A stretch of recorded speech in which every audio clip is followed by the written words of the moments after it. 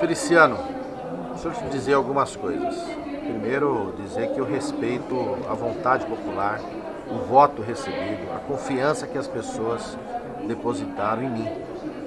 Então, não tem sentido algum eu negar esse apoio recebido. E tenho fé e acredito que novamente estarei aqui em Brasília no próximo período para ajudar o presidente Lula a tirar o Brasil dessa miséria, desse caos, desse absurdo que você e seu presidente colocaram. O Brasil da fome, o Brasil da miséria, o Brasil das pessoas sem teto, sem lar, para a família morar, para a família viver, para a família ali conviver em harmonia, tendo que se alimentar em paz e tranquilidade, com pleno emprego, com respeito, com dignidade. E confio também muito, mas muito mesmo, Creio muito que o presidente Lula ganhará essas eleições.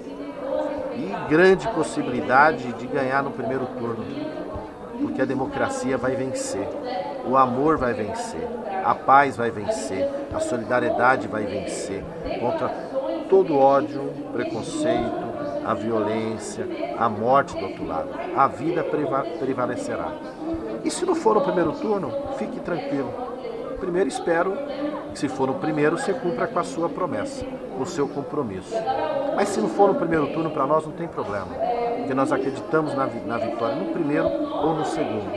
Porque o povo brasileiro sofreu muito, a família brasileira sofreu muito, as pessoas estão indignadas e revoltadas. E elas querem o Brasil da esperança, o Brasil do amor, para que ele volte. E só tem uma pessoa que pode fazer isso o presidente Lula em primeiro ou em segundo turno. Então é isso, Feliciano. Respeite seu eleitor, eu respeito o meu.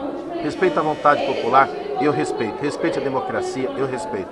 Bolsonaro vai perder no primeiro, o presidente Lula vai ganhar.